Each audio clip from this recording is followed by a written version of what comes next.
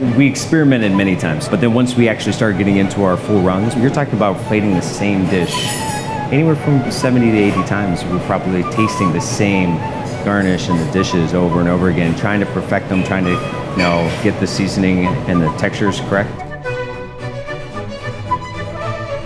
Part of it was a shock. You know, clearly we wanted to be successful, so we completely stayed focused on ourselves. Uh, it didn't really matter to us what anybody else was doing.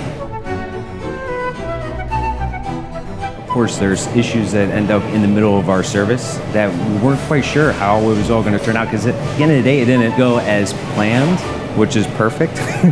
and at that point, we didn't know what anybody else did. So when we got to Judgment Day, we didn't really know how it was going to turn out. Uh, but as the names were being called out, we slowly started to get that, that gut feeling that this could be the, the, the day for us.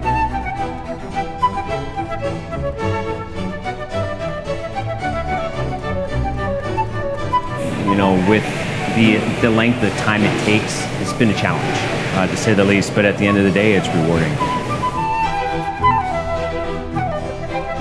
I'm Chef Matt Peters with Team USA for the Bocuse d'Or.